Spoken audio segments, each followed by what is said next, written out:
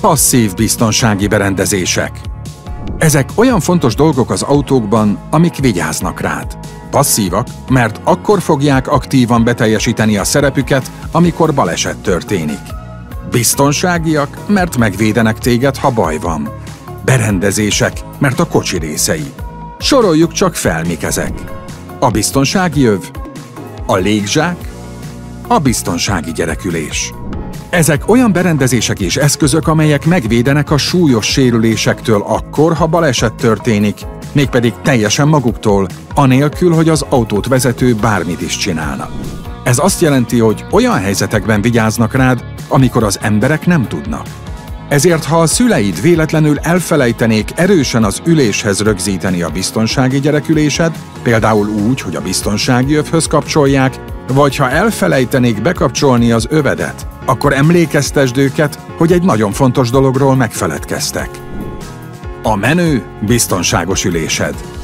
Az emberek gyakran tesznek fel gyereküléssel kapcsolatos kérdéseket, hiszen a gyerekeknek kortól, magasságtól és súlytól függően különböző típusú ülésre lesz szükségük, ezzel pedig nem mindenki van tisztában.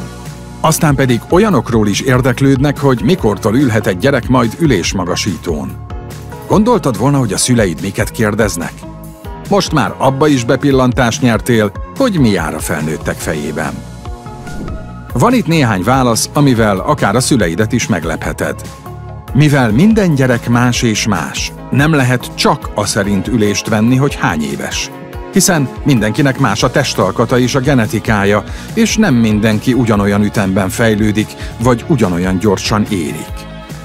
Ez azt jelenti, hogy egy idősebb, de alacsonyabb, vékonyabb típusú társadhoz kisebb gyermekülés illik, mint egy fiatalabb, de nagyobb, magasabb barátodhoz.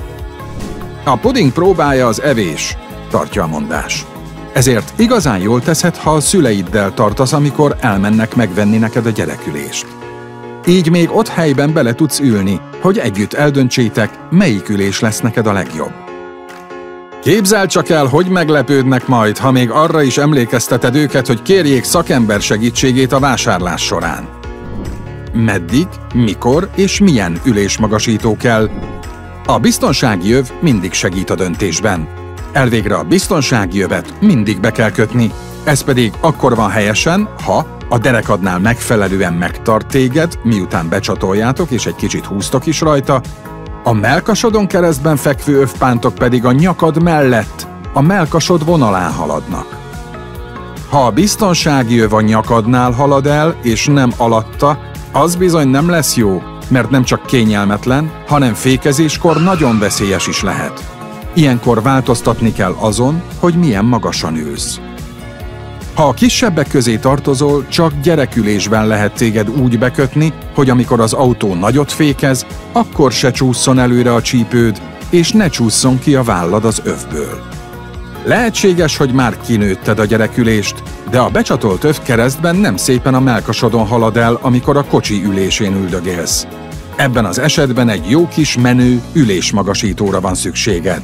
Az ülésmagasítót akkor növöd ki, amikor az már nem kényelmes neked, nagyon lelóg róla a lábad, és nélküle is megfelelően a melkasodon, majd a nyakad és a melkasod közötti részen fekszik a becsatolt biztonsági öv.